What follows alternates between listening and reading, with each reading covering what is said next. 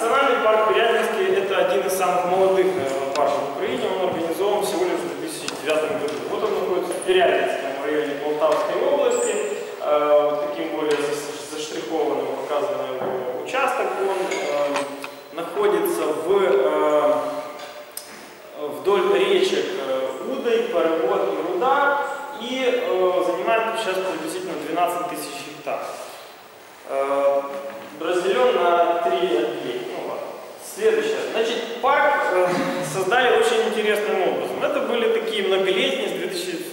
2005 года экспедиции вот в это место. Создался целый ряд определенных заказников, там гидрологические, ботанические, энтомологические. И потом это все собралось вместе и организовался нацпарк. Тут в основном брали участие, конечно же, студенты, аспиранты, сотрудники Киевского Национального университета имени Тараса Шевченко биологического факультета. Но тут можно увидеть некоторых людей, вот там Юрий Григорьевич Верос, э, там представители Сумского пединститута, Полтавского пединститута, один раз к нам из Польши, из э, Краковского университета э, присоединился э, специалист. Ну и вот, собственно говоря, парк создали. Следующий слайд.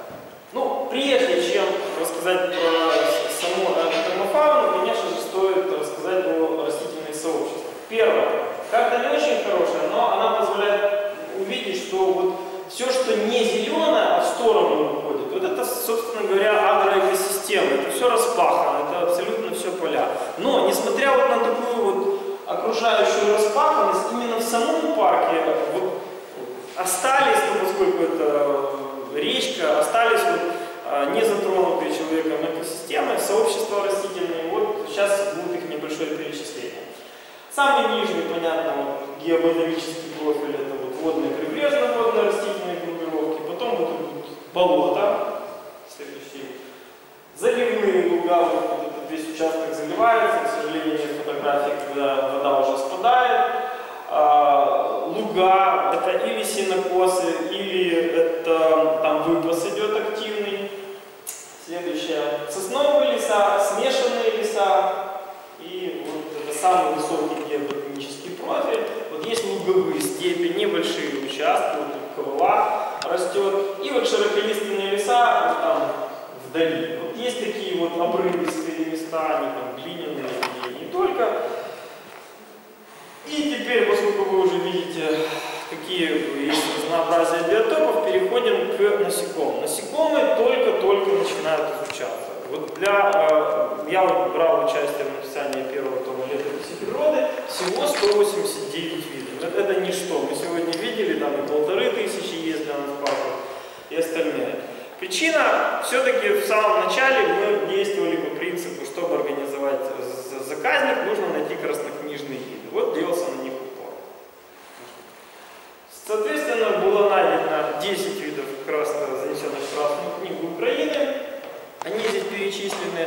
А, опять же, специфика вот этих первых экспедиций была связана с тем, что приехали на точку, быстренько что-нибудь выбрали, поехали на следующую. И так получалось за день 4-5 точек, поэтому мы, собственно говоря, снимали, так, так сказать, сливки э, глубоких каких-нибудь энтомологических исследований, ну, кроме там своей группы я не делал, там коллеги.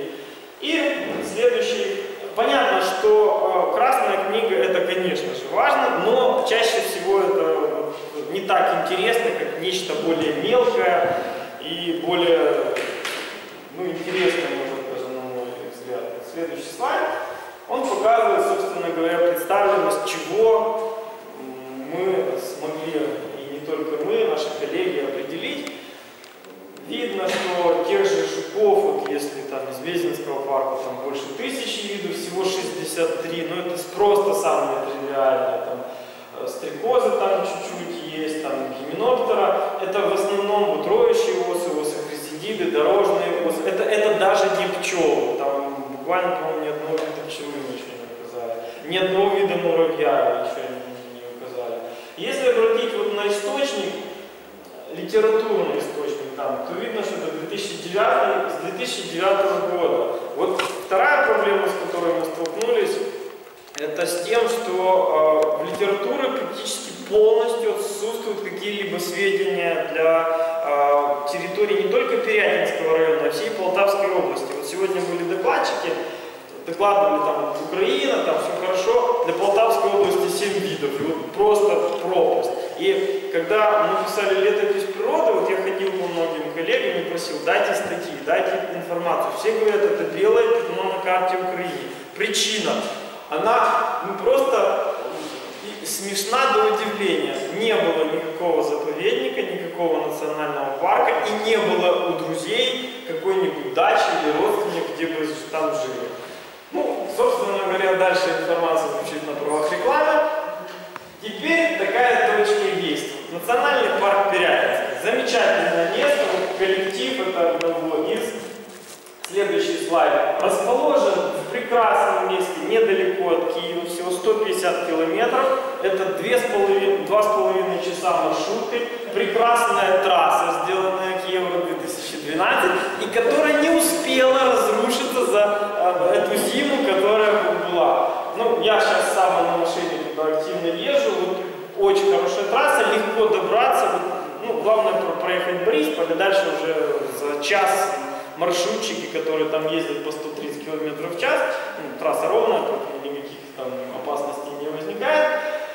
Быстренько добирайтесь. Если приезжаете на автостанцию, попадаете в место, на котором снималась э, знаменитый фильм «Королева бензоколонка», вот башня, и там остатки где-то еще этой бензоколонки э, сохранились. Следующий слайд. С проживанием вроде как э, у самого э, нацпарка пока нет еще вот помещений, где бы могли поселить, но общежитие ПТУ вот специально узнавали под конференцию, под всех ученых, можно проживание от 20 гривен в сутки. Согласитесь, это сейчас довольно маленькие деньги. С другой стороны, в каждом из отделений э, национального парка есть рекреационные зоны. Вот кто планирует жить в палатке на красочных берегах, пожалуйста, зоны такие есть. Причем, ну, саму палатку, наверное, охрана, это, охрана парка не будет охранять, но вот были случаи, когда вот там приезжали какие-то вот уже спортсмены, они жили в этих э, местах, и им э, охранники помогали вот с питанием, они им доставляли, там, ну, просто не ездить туда-сюда. А, в свою очередь, дирекция нацпарка уверила меня, как сотрудника, научного сотрудника парка, что постарается, ну, с лодками, кому будет вот вроде как вообще проблем не должно быть. Кто занимается водными организмами, околоводными, с лодками, действительно, вот даже мы свои экспедиции проводим еще до того, как я начал работать на парке, с лодками проблем не возникает. С э, разъездами в разные части парка на машине, ну, обещали помочь, хотя бы по минимуму 2-3 для группы э, ученых.